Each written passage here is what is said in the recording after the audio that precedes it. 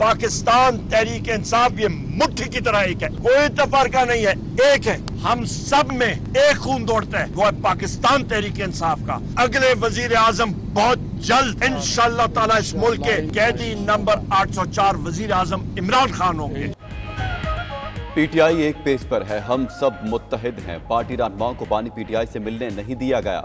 Opposition leader Umar यूब की party रहनुमाओं के साथ अडयाला जेल के बाहर मीडिया से गुफ्तगू, कहा हम बानी पीटीआई के साथ हैं, उनके साथ खड़े रहेंगे। जेल चौकी के इंचार्ज ने हमें मस्जिद से भी निकाल दिया। जेल चौकी के इंचार्ज ने बताया उन्हें अहकाम मिले हैं। आईजी और आईजी पंजाब को लाइन हाजिर करेंगे। उनसे पूछा जाएगा, मुलाकात से क्यों रोका? शानदाना गुलजार ने कहा, पार्टी में कोई पख्तून पंजाबी ग्रुप नहीं। शहरियार आफरीदी बोले, हम सब बानी पीटीआई के सिपाही हैं। मुखालफी हमारा मुकाबला नहीं कर सकते।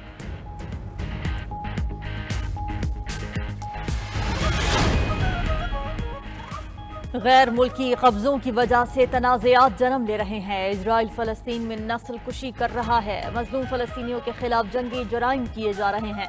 गाजा में फौरी गैर मशरूत जंग बंदी का मुतालबा करते हैं।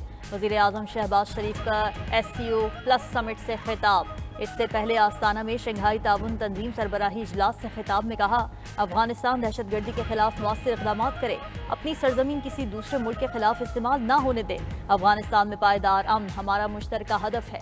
इजलास की साइड लाइन पर वजी अजम की अकवा मुतहदा के सेक्रेटरी जनरल एंतोनियो गोतरेस से मुलाकात, रूस, तुर्किया अजरबैजान की सदूर से मुलाकातें, ताजिक किर्गिज और बेलारूस की सदूर से भी मुलाकात हुई।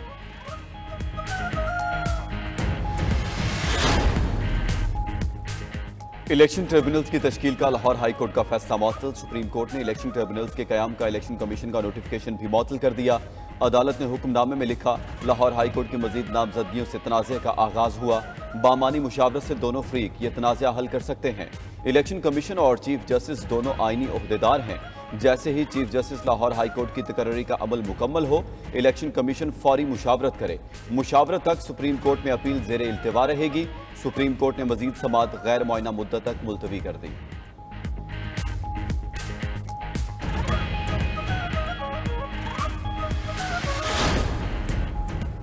तहरीक इंसाफ ने इलेक्शन ट्राइब्यूनल केस में बेंच पर एतराज़ उठा दिया। चीफ जस्टिस गाजी फायजीसा का वकील न्याजुल्ला न्याजी पर इजहार बरहमी। रिमार्क्स दिए, अदालत को बहुत स्कैंडलाइज कर लिया गया। स्कैंडलाइज करने वाले वकील का लाइसेंस मअतल करेंगे। दो रुकनी बेंच का भी सरबराह था, तब एतराज़ क्यों ना किया गया? अब बहुत हो चुका, मामला पाकिस्तान बार काउंसिल को भेजेंगे। ये बेंच कमेटी ने तश्कील दिया है चीफ जस्टिस ने नहीं। जब एक शख्स बेंच बनाता था, तब ठीक था। ये लोग अपनी मर्ज़ी के फैसले चाहते हैं। जस्टिस जमाल खान मंदोखेल ने कहा, क्या हम यहाँ बेइज्जती करवाने बैठे हैं? अब लोगों की ख्वाहिशात पर अदालतें नहीं चलेंगी।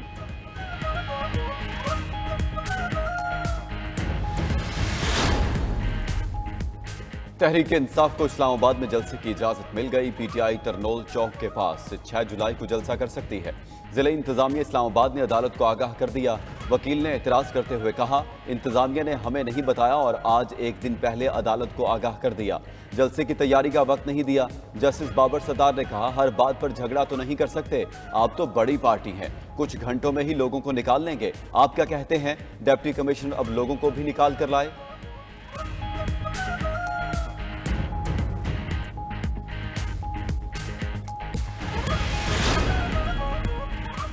दौरान इद्दत निगाह केस में सजा के खिलाफ अपीलें। खावर मानिका ने एक माह में फैसले के हुक्म को चैलेंज कर दिया। इस्लामाबाद हाई कोर्ट से एक माह के वक्त की पाबंदी खत्म करने की इस्तदा दरख्वास्त में मौकफ इख्तियार किया। बज़ाहिर इस्लामाबाद हाई कोर्ट के एक माह में फैसला देने के अहकाम से सेशन अदालत दबाव में लग रही है। अपीलों पर फैसले के लिए मुतन वक्त की पाबंदी के अहकाम वापस लिए जाएँ।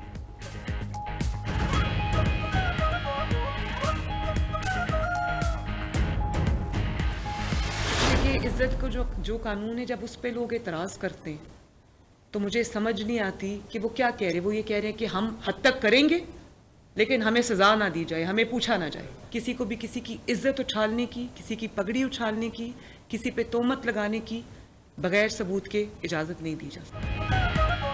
हद के इज़्ज़त कानून पर तनकीद से कोई फ़र्क नहीं पड़ता। किसी को भी तोहमत लगाने और पकड़ी उछालने की इजाज़त नहीं दी जा सकती। वज़ीर अला पंजाब हद के इज़्ज़त कानून की हिमायत में बोल पड़ी। उलमा कराम के वक्त से मुलाकात के बाद कहा, जिसके पास माइक है, समझता है, उसे इज़्ज़त उछालने की इजाज़त है। हमारे माशरे में तोहमत की बीमारी फैली ही इसलिए है कि कोई पूछगछ नहीं। मजीद बोली सवात वाक़ बायस तशवीश है। कानून हाथ में लेने वाला कोई गिरोह नहीं बचेगा।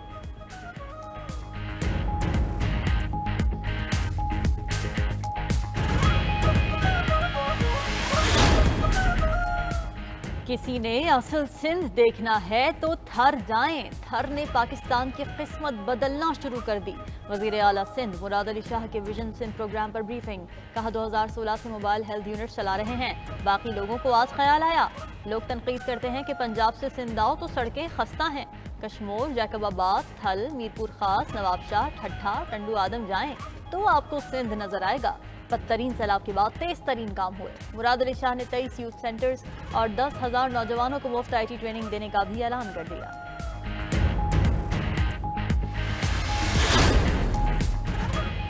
पाकिस्तान ब्लॉक की सियासत पर यकीन नहीं रखता, ना ही किसी ब्लॉक का हिस्सा है। तर्जबान दफ्तर खारजा ने वाजे कर दिया। मुमताज़ जहरा बलोच ने कहा, बाहमी एहतराम के साथ ताल्लुक पर यकीन रखते हैं। अमरीका की जानब से मजहबी आज़ादी से मुतालिक रिपोर्ट मुस्तरद करते हैं।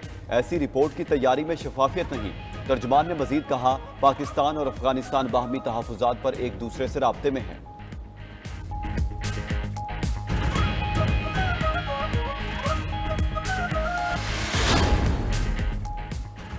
बढ़ती महँगाई और आवाम के मसाइल पर 92 न्यूज़ की खसूसी कवरेज। हम कब तक कुर्बानियाँ दें? टैक्सों की भरमार से मायूस आवाम की दुहाइयाँ।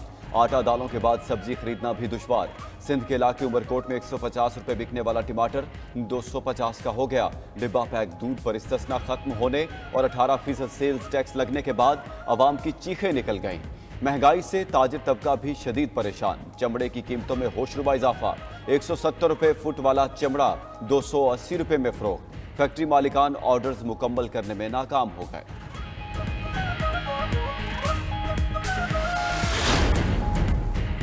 महँगाई के सताए आवाम पर एक और बोझ। बिजली की बुनियादी टैरिफ में पाँच रुपए, बहत्तर पैसे फ़ी यूनिट इजाफा। विफाकी काबीना ने नेपरा के फैसले की मंजूरी दे दी। इतलाक कुम जुलाई से ही होगा। सार्फिन पर छह सौ अरब रुपए का इजाफी बोझ पड़ेगा। नेपरा ने बिजली का औसत बुनियादी टैरिफ उनतीस आशारिया सात आठ रुपए से बढ़ाकर पैंतीस आशारिया पाँच सिफर रुपए फ़ी यूनिट मंजूर किया था। 92 न्यूज़ से गुफ्तु में वजी तोानाई अवैस लगारी ने कहा, बिजली की कीमतों में हालिया इजाफा ज़्यादा नहीं। आई एम एफ़ ने कभी नहीं कहा रेट इतना बढ़ा दो। खैबर पख्तूनख्वा हुकूमत की किफायत जारी सरकारी खर्च पर वर्कशॉप्स सेमिनार और नई गाड़ियों की खरीदारी पर पाबंदी आयद कर दी। बैरून मुल्क इलाज कराने की पाबंदी भी बरकरार रहेगी। महकमा खजाना ने मालियाती नजमो जब्त से मुतालिक तमाम महकमों और इदारों को मुरासला इरसाल कर दिया। आसामियों की तकलीफ़ में वजी अली अमीन मामला देख कर फैसला कर सकते हैं।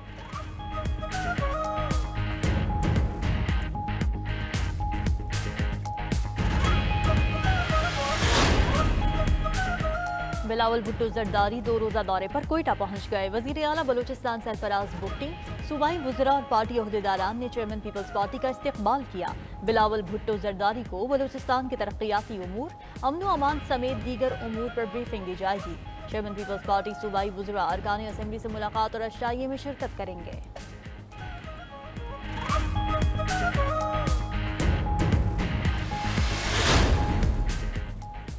बलूचिस्तान में कबायली निज़ाम सबसे बेहतरीन निज़ाम है। वजी अला सरफराज बुकटी का, कोयटा में दस्तार बंदी तकरीब से खिताब कहा।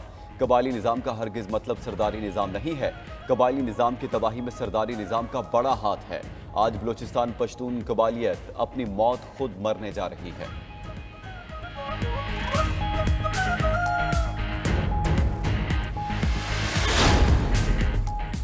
मुल्क में सख्त गर्मी की लहर और बारिश एक साथ। इस्लामाबाद, लाहौर, गुजरात, जन्म समेत मुख्तलिफ़ शहरों में बारिश। मौसम कुछ घंटों के लिए बेहतर होने के बाद दोबारा गर्मी और हफ्स बढ़ने लगा। दर्जा हरारत 40 डिग्री से तजावुज। महकमा मौसमियात की आज मजीद बारिश की पेश गोई। उधर पिशावर में बिजली की तवील लोड शेडिंग पर मुजाहरीन रहमान बाबा ग्रिड स्टेशन पर भी ज़बरदस्ती बिजली बहाल करा दी। पीटीआई रहनुमा मलिक शहाब ने ग्रिड स्टेशन से कचौड़ी फीडर की बिजली बहाल कराई।